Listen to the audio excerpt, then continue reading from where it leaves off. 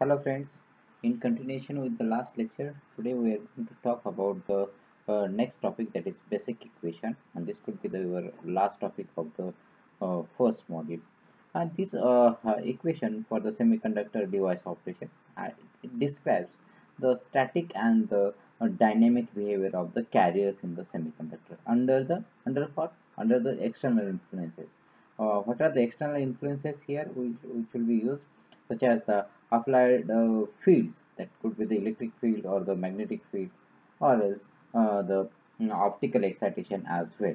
That actually causes the deviation uh, from the thermal equilibrium conditions. So this actually because of the application of the external fields uh, or else optical excitation this causes the deviation of the thermal equilibrium which, which is initially the semiconductor uh, possesses these basic equations uh, can be classified into the three groups. The first is the electrostatic equations, the second one is the uh, current density equations and the uh, last is the continuity equations.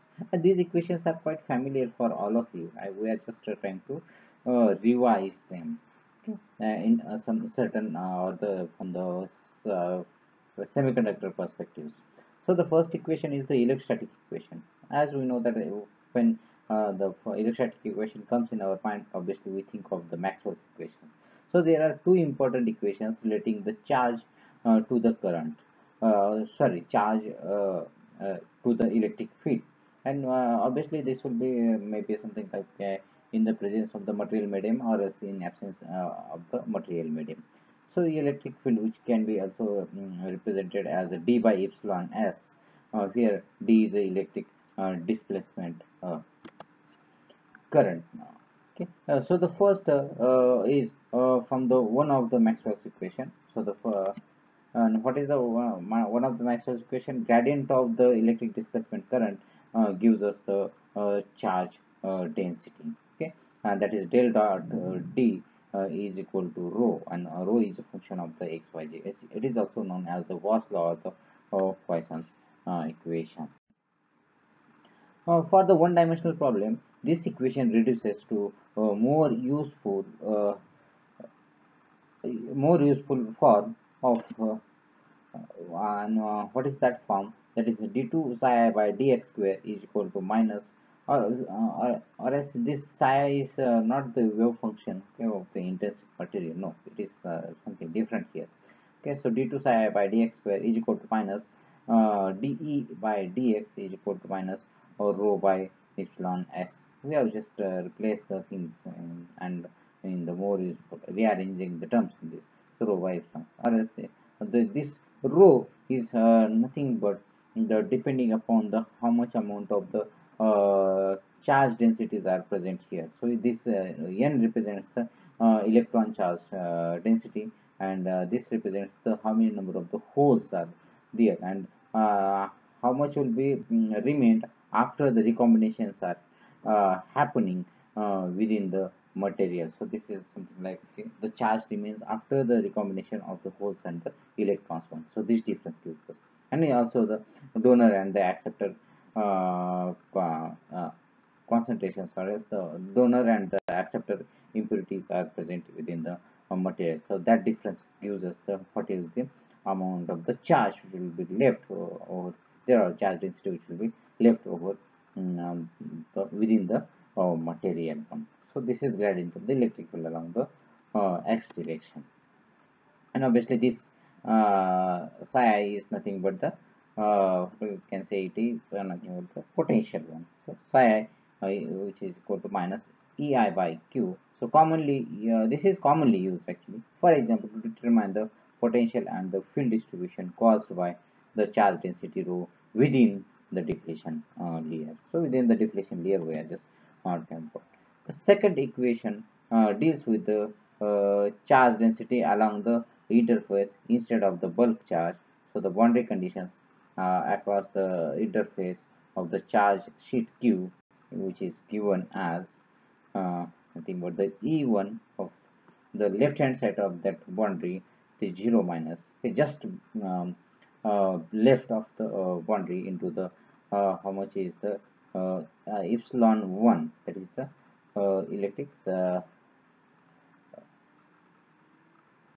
epsilon 1 uh, is nothing but the permittivity of the one of the medium which is present on the boundary of the or else on the left hand side or else okay one of the uh, uh, material in the junction or the p junction p region okay uh, and p injection if you just try to consider. Similarly on the e2 uh, of the um, 0 plus uh, into epsilon 2 the, this is nothing but the electric field just uh, on the uh, n region n region of the uh, material the right hand side of the boundary just right hand side of the boundary corresponding to the its epsilon 2 corresponds to the uh, permittivity of that uh, material, material on the right hand side and this is uh, this difference will give us the what is the charge which is left okay on that within that region uh, then the next equation is uh, nothing but the current density equation. Current density equation that we know that J is equal to sigma into E. J is nothing but the current density and the E is the applied electric field. The most common current uh, conduction consists of the drift component and which is caused by the electric field and the uh, diffusion components which is caused by the carrier concentration uh, gradient. Carrier concentration gradient because of the uh, inequalities in the uh, constant carrier concentrations that will give us the diffusion of the charges from the one side to the other way and also um, uh, this can be also a drift component one of the uh, component uh, which is uh, helping to have the current density equations here that is the electric field so the current density equations are nothing but the Jn this n stands for the electron current density is equal to Jn is equal to Q times mu n n e plus Q Tn uh, delta n. Here Q is charge, mu n is mobility of the electrons, and is the electron uh, carrier concentration applied electric field. Uh, then the dn is nothing but the is Einstein component and the delta n is nothing but the carrier concentration gradient.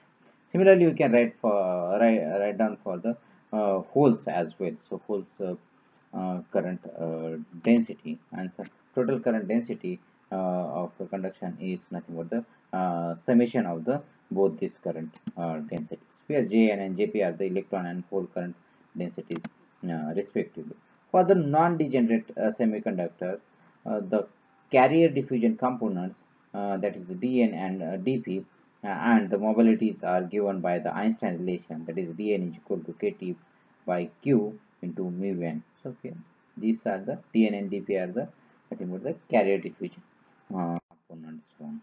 For example, uh, for a one-dimensional case, these above equations re uh, reduces to the uh, something like uh, some uh, complicated equation that is Jn is equal to q times so mu n n e plus uh, q into dn dn by dx so for the one of the uh, instead of the delta n we have just considered the one dimensional case along the x-axis that is dn by dx so now just try to substitute the value of the dn and dn is equal to kt um, by uh, q into mu n and uh, just try to rearrange the terms in the equation. And this gives us the q is taken out of it and the mu n as well. And so what we can say q into mu n uh, d e f n by dx and uh, similarly we can have the another equation for the holes as well. And here this uh, uh, efn is or the efe are coming from the quasi fermi levels or they are called as the quasi fermi levels for the electrons and holes and these equations are valid for the low level electric fields okay. low level electric fields only it is uh, possible uh, to have. At sufficiently high fields, the term mu n into E or the mu p into E, e uh, should be replaced by the uh, saturation uh, velocities because uh, the um, carriers are acquiring the highest velocity as the saturation velocity. These equations do not include the effect from the externally applied magnetic field because because, because of the application of the magnetic field uh, the magnetoresistive effect uh, reduces the current. Then the third uh, equation uh, is nothing but the continuity equation. Uh, while just the above current density equations are for the steady state conditions, the continuity equations uh, deal with the time dependent phenomena such as the low level injection, generation and the uh, recombination. So what here uh, it is dealing with here the continuity equations actually deal with the time dependent phenomena such as the low level injection, generation and recombination because the above uh, these equations of the current density they are for the steady state conditions if suppose the uh, current is changing with respect to the time so uh, how it is uh, dealing with so qualitatively if we just talk about the net uh, change of the carrier concentration is you know, the difference between the generation and the recombination how many number of the charges are generated and out of that how much amount of them are recombined and the, whatever the left or is plus the net current flowing in and out of the uh, region of the interest. So at some uh, uh, place within the region, if suppose the amount of the net current coming in and going out of the uh, particular uh, the region of the interest is the important thing to consider. So the continuity equations are here. Now these continuity equations are coming from the rate of change of the its carrier concentrations. Okay, how they are so this is something like okay we have just talked about so the net uh, change of the carrier concentration which is nothing but the difference between the generation and the recombination. This is the generation rate and this is recombination plus the net uh, current flowing in and out that that is given by the delta change or the gradient of the current uh, density. Okay. Uh, similarly we can write down for the holes as well. dp by dt is equal to gp minus up plus uh, 1 by q del dot uh, jp. uh, this uh, here this uh, generation gn and gp mm, for the electrons and holes rates that is per centimeter cube per second respectively caused by the external influences such as optical excitation with the photons or the impact ionization under the large electric uh, fields. So the recombination rates Un is equal to delta uh, n by 2n and Up is equal to delta uh, p by 2p. This 2n and 2p already we have seen uh, that the excess carrier lifetime in the last lecture. So it have been already discussed in the previous lecture as well. Uh, for the one, just consider the for the one of one dimensional case under the low level uh, injection condition uh, these above equations reduces to the dn by dt is equal to gn minus np minus np 0 upon 2n plus np mu n del by e by del by x plus mu n uh, e by np by del by x plus dn uh, del by 2 np by del by x squared. And similarly, we can write down the equation for the holes as well. And similar equation is for the holes. Thank you.